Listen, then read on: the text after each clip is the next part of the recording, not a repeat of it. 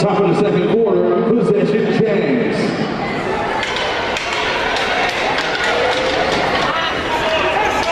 Into the game for the Hornets, number 25, Toomey